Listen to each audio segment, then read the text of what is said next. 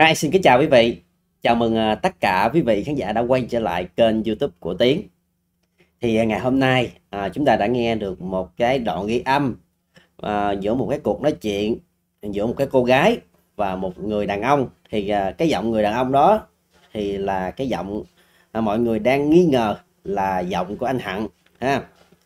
Thì à, sau khi mà thông tin đó được đưa lên đó thì người ta càng phẫn nộ về cái thái độ cũng như như là cách cư xử và tất cả mọi việc mà anh Hận đã bày ra để mà đánh lừa cộng đồng mạng thì à, nhiều người rất là phẫn nộ. Nhưng mà chúng ta phải xem thử coi à, anh Hận anh sẽ nói cái gì về cái à, cuộc ghi âm đó nha. À, để chúng ta xem tiếp tục cho cơ anh Hận anh sẽ bao biện và chối như thế nào về cái cuộc ghi âm đó.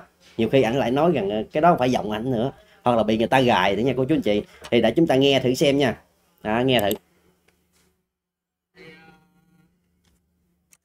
Cái cái cái cái, cái người xấu á.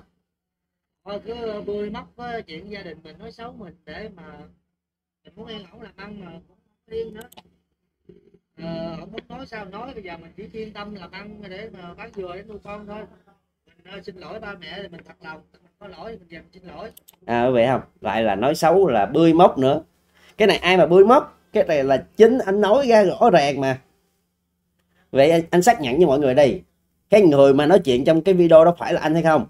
Và đó phải là những cái lời của anh không? Chứ ai mà bới móc? À quý vị thấy không? À, lại lương lẹo không? Thấy không? Nói trên đây thì nói rằng để nhẹ nhõm cho mình làm ăn. Còn nói với người khác thì nói rằng là ba mẹ cướp đất rồi ba mẹ suối vợ bỏ anh. Trời ơi đâu mới là con người thật của anh. Hay là sống hai mặt mệt mỏi với anh hận Ờ, miệng đời mà có người thương người ghét. Thì ờ, họ ờ, dựng chuyện địa chuyện lên họ nói xấu mình mình không có quan tâm. Cho cái này ảnh ảnh nói rõ ràng ha. Ảnh nói rõ ràng với cái cô gái trong trong cái video đó. Đó, thì cái này cũng như là à, cái cô đó giống như là người em út mà chơi chung nhóm ngày xưa cô chú anh chị rồi anh cua không được các cô chú anh chị. Đó và cái chị này thì chị bức xúc về những cái thái độ giống như là đi chung nhóm này nè. Tại sao gặp người nào cũng cua thậm chí vợ bạn cũng cũng cũng cua nữa. Đó, nên chị bức xúc chị muốn lên vạch trần cái bộ mặt thật của anh này ra. Đó, và điện thoại thì anh này anh đã khai nhận trước cái sự cám dỗ mà mê gái mà. À, khai ra hết. Còn bây giờ nói là người ta lại gài ảnh. Sao gài được? Nếu không có sao gài? Đúng không? Không nghe thấy gì tới nhiều ờ, cô bác rồi cũng khuyên thôi con cứ lo làm bán dựa thôi, coi ai giết làm gì lại kệ đừng có coi đừng đọc rồi buồn rồi mất công sinh bệnh không nuôi con được. Ra mình cũng không có coi không đọc sinh bệnh không nuôi con được ha. Con giờ đâu nuôi nữa con giờ làm bé Phượng Anh thì về với ông bà nội rồi.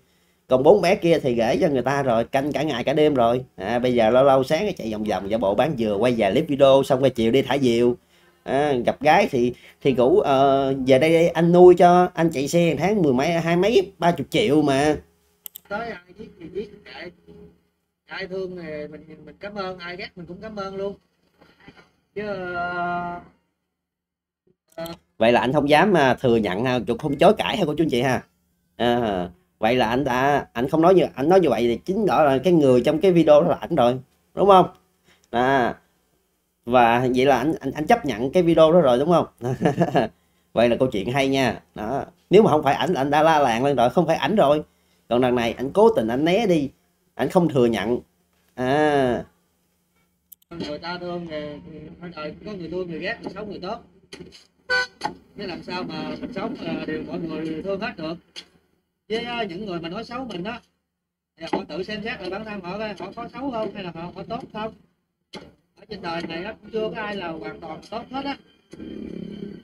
Người ta xấu người ta sai lầm người ta biết sửa sai. Ồ người ta xấu người ta sai lầm. Người ta biết sửa sai ha. Biết sửa sai cho anh Hằng ơi? Hay là đi tiếp tục nói xấu ba mẹ của mình à, nói xấu vợ của mình à, để mà đi à, mà cua gái anh Hằng? À, nói anh nói anh nói giống như thiệt chứ cô chú anh chị. Bởi vì anh này mới mốt mà mấy cái nhà làm phim mà dạng như mấy giai phản diện á giả sử nên cân nhắc, để mà mời anh Hằng này về đóng nha. Anh đóng cực kỳ hay, diễn quá.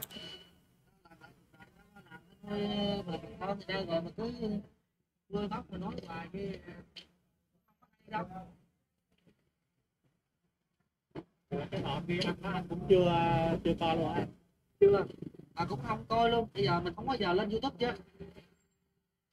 Mình không bao giờ đọc youtube coi gì á cô chú bạn cũng uh, các chị khán giả đồ á. Động viên uh, gọi điện tới hỏi thăm thì mình trả lời. Cũng có nhiều điện thoại điện lại là uh, giả dạng uh, con gái đồ này kia.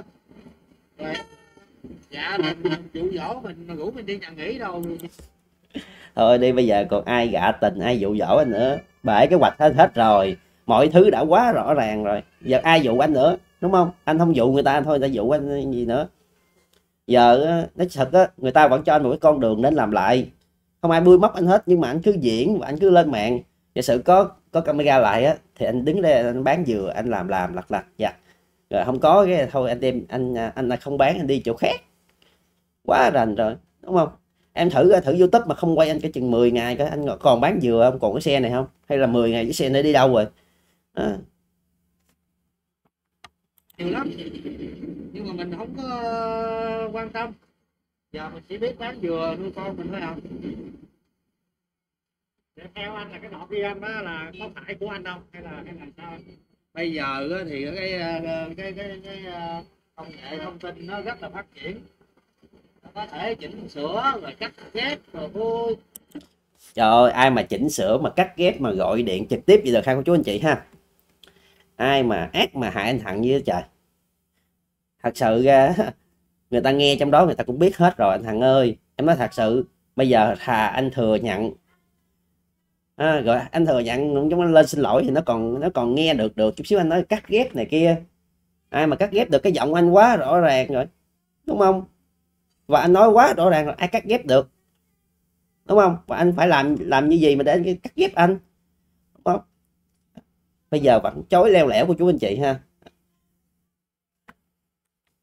Giả giọng thì giả giọng. Là cái gì mà làm giả không được. Trời ơi nói là làm gì mà giờ giả không được. Là chính là cho trong vợ đó giả ha. Yeah.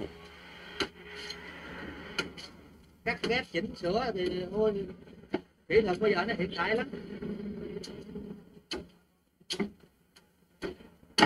Vậy anh thử kêu ai dùm cắt ghép dùm em một cái đoạn mà đang gọi điện zalo mà mà mà mà ra được cái giọng của người khác được không làm gì được đúng không?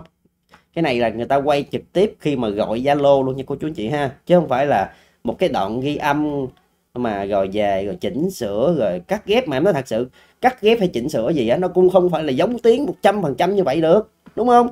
Người ta gọi zalo mà. Zalo anh rõ ràng đó là anh chối đâu nữa. Thà bây giờ anh nói anh bị gài này kia đi. Anh anh, anh chối quanh chối coi thì mai mốt mà nó cũng ra thêm nhiều cái nữa còn nhiều cái nữa quý vị đi người ta đăng cái này đúng không? Người ta còn chừa để xem anh này anh phản ứng như thế nào. Nếu anh không thừa nhận người ta sẽ chứng minh cái đoạn zalo đó cho quý vị khán giả xem. Anh càng chối anh càng quanh co anh càng ừ, xong rồi. quý vị khán giả có tin là ăn sửa đổi thật lòng hay không? Thì á quý vị khán giả nhìn cái hành động của hận nè. Hàng ngày hận phải đi bán dừa dắt giả cực khổ từ sáng sớm à, 5 giờ mấy 6 giờ là đi bán rồi đó. Tới 7 8 giờ tối mới về nhà. Nghe thường quá cô chú anh chị. Như vậy là có đủ thật lòng chưa quý vị? Khán giả cộng đồng mạng xem mai hẳn có có, có, có thật là, là lòng mà để mình làm mình nuôi bốn con năm con không? Bây giờ á là quý vị khán giả cộng đồng mạng á nhìn vào cái việc làm của thằng đang làm nuôi con mình thôi. Còn cái chuyện quá khứ á quý vị đừng có có nhìn tới nữa. Cái quá khứ là nó đã qua đi rồi. Giờ nhìn cái hiện tại nè. Hiện tại mình đang làm nuôi con vậy nè.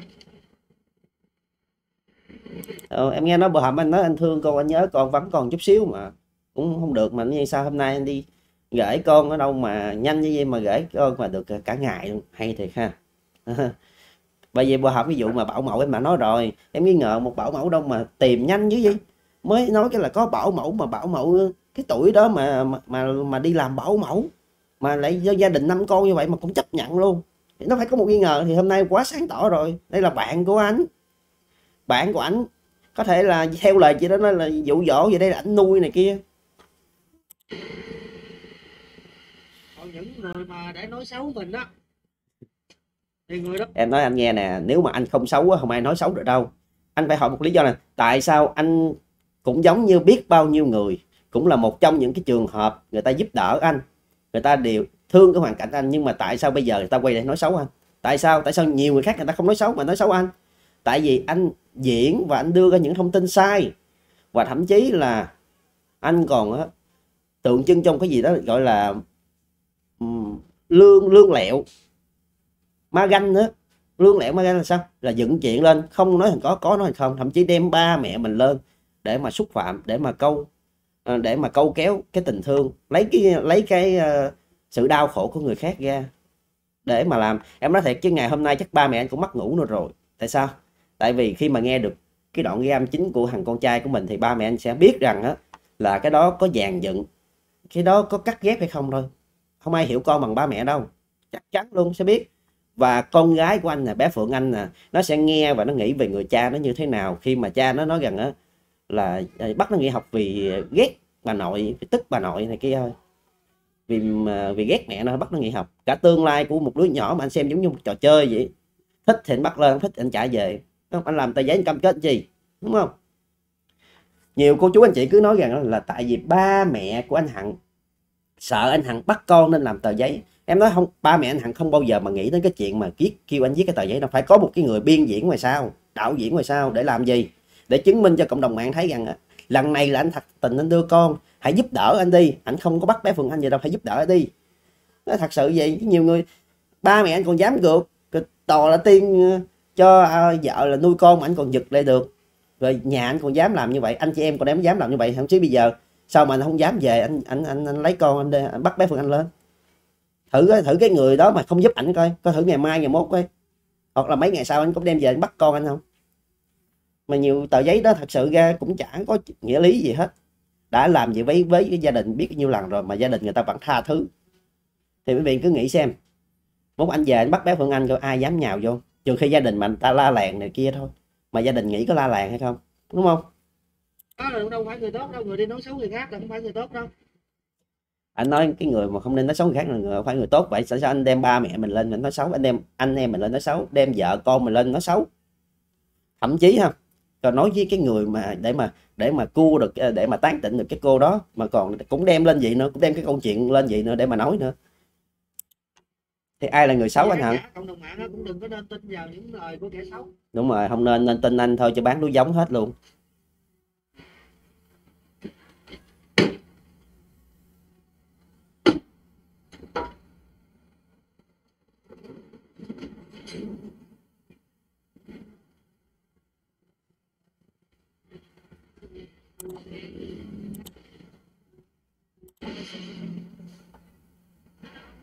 à, nghe nè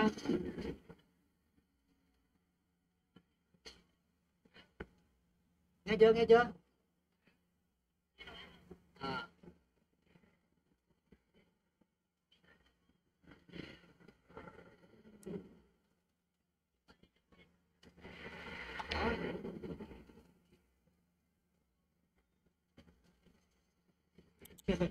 thì gác nó nói thêm nó bớt để đi xấu anh mà hơi đâu mà nghe mà tin. Cắt ghép. Nói chung là tới giờ này bạn chói làm lẻo của chú anh chị ơi. Chuyện nó quá rõ ràng, đã quá gành như vậy rồi. Không, em nói là giang sơn dễ đổi bản tính khó về đối với một người như vậy thì cô chú anh chị nghĩ là bốn đứa bé còn lại ở với người cha sẽ được hạnh phúc sao? Không ảnh hôm nay anh không làm được cái này thì mai anh sẽ làm cái khác. Để đi ăn hại cộng đồng mạng ơi anh đem chứng minh cho mọi người thấy rằng á là ảnh không có là người ảnh là người tốt thôi anh bị hại thôi. À. anh làm tất cả để chứng minh thôi nào là bạn lại nói thật sự ra cái anh hàng xóm anh lạ mặt nào lại là nó giúp ảnh á. Một trong đó một phần người gợi ý nó là cái nhà như vậy ở này kia là ứ là xin tiền để uh, cắt nhà cho ảnh mà em nghĩ không khơi khơi ai lại nói đâu cũng phải có một cái bàn tay dàn ship cho nó ừ alo mai mày lại nói giùm tao cái vụ này nha. Ừ, ừ, ừ. tại bây giờ ảnh là người mang tai tiếng rồi anh đâu có dám lên anh nói nữa. Phải có một cái người khác nói gợi ý thôi. Gợi ý thôi nói chung là gợi ý. À, rồi à, bán buôn cực khổ như vậy cái xe này đi bán cho trời mưa bán không được đâu. Ừ, chắc cũng phải xe tải mà khoảng à, 5 10 tấn gì á. À, bán thì à, đi giao này kia mới có tiền. Ủa, mình nói mình đi làm, mình đi làm tháng mà 15 20 triệu, quên hai ba chục triệu xong mình mới làm mà mình đã tiếp tục đi bán dừa đó. Đúng không? Ngày bán được có, chưa, nãy anh chia sẻ là bán được có ngày, hai ngày bán được có hai mấy trái à. Kiếm được có trăm mấy, hai trăm ngàn nhiêu, hai mấy trái hai trăm mấy ngàn nhiêu. Thì thôi anh đi anh đi làm, anh anh đi kiếm tiền đi. Đúng không? Anh đi chạy xe đi, giống hồi xưa đi kiếm mười mấy, hai triệu hai ba chục triệu. Đúng không? Mà tại sao đi bán dừa? Giờ đâu còn con cái nữa đâu.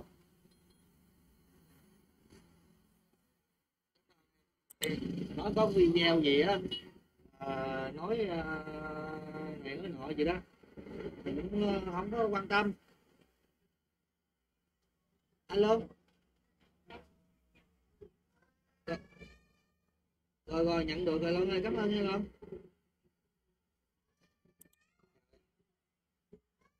quý vị thấy không? À, là nhiều người cũng đã nhìn thấy hận thay đổi hận lo làm kiếm tiền nuôi con là hẳn bán dừa hơi chậm. Đó, hai ngày nay mà bán chưa hết cái xe dừa lấy uh, có 200 trái mà bán không hết nè. Là ở bên Sài Gòn mà chuyển tiền qua đây mua. Rồi đó là kêu hẳn đi phát cho những cái, cái, cái, người làm hồ đồ, à, cộng đồng mạng thấy mới thương tình. Thì đâu có có, có, có ai mà, mà mà mua giúp đâu đâu có ai thương gì đâu.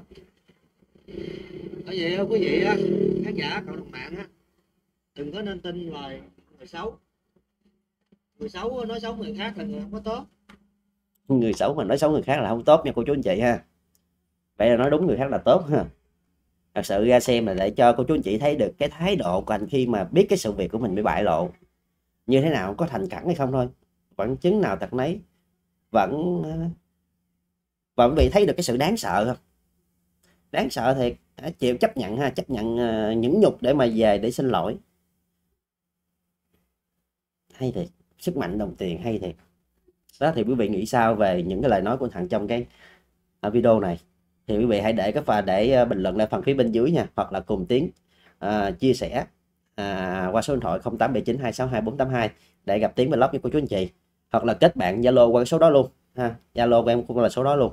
Thật sự quý vị khán giả gọi nhiều khi em đang đi quay á em không có ở nhà nên khi không nghe được chứ em có nhà là em sẽ nghe điện thoại của chú anh chị nha. Thì lần nữa xin chào và hẹn gặp lại cô chú anh chị.